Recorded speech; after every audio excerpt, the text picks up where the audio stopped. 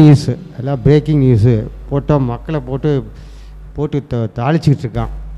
மக்கள் ஆனால் இதில் என்ன சொல்கிறாங்கன்னா இது இதெல்லாம் அவாய்ட் பண்ணிடுங்க இந்த நியூஸு டிவி கிவிலாம் எல்லாம் அவாய்ட் பண்ணிடுங்க இந்த நியூஸ்லாம் போக வேண்டாம் பார்க்க வேண்டாம் அப்படிங்கிறாங்க.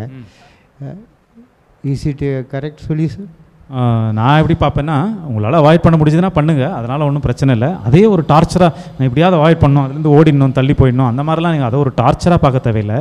சிம்பிளாக இப்போ நான் சொன்னேன் இல்லையா பால் இப்படி போட்டால் கீழே தான் விடுன்ட்டு அதே மாதிரி நியூஸ் பார்த்தீங்கன்னா மனசு அஃபெக்ட் ஆக தான் செய்யும். இதே எதுக்கு மனசு அஃபெக்ட் ஆகாத எதுக்கு எதிர்க்கணும் அதை எதிர்க்காம அஃபெக்ட் ஆகாமல் இருக்கணும்ட்டுலாம் நீங்கள் நினைக்க தேவையில்லையே.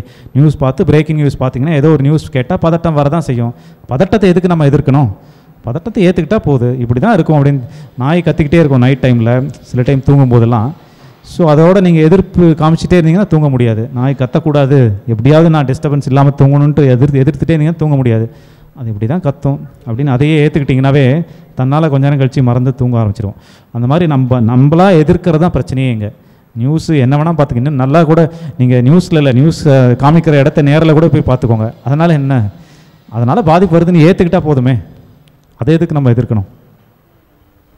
அது அது ஓஷோ கூட ஒரு சொல்லியிருக்காரு. அவர் ஒரு அரசியல்வாதியும் போய் நைட்டில் படுத்திருக்கும் போது பயங்கரமாக நாய் கத்தியிருக்கு இவர் இப்போ குரட்டி விட்டு தூங்கியிருக்காரு. அரசியல்வாதி வெடி வரைக்கும் தூங்கவே இல்லை. ஆமாம் காலையில் எழுந்திரிச்சு என்னங்க ஓஷோ இது மாதிரி பண்ணீங்கன்னா அது அதனுடைய வேலையை செய்யுது நீ நம்ம வேலையை செய்யுங்க. ஆமாம் அதனால் அதை எடுத்துக்க வேண்டாம் அப்படிங்கிற மாதிரி. சொல்லிட்டு எதிர்ப்பை காமிச்சிட்டே இருக்கும்போது தான் நம்ம திரும்ப திரும்ப வேலை நடந்துகிட்டே இருக்கோங்க.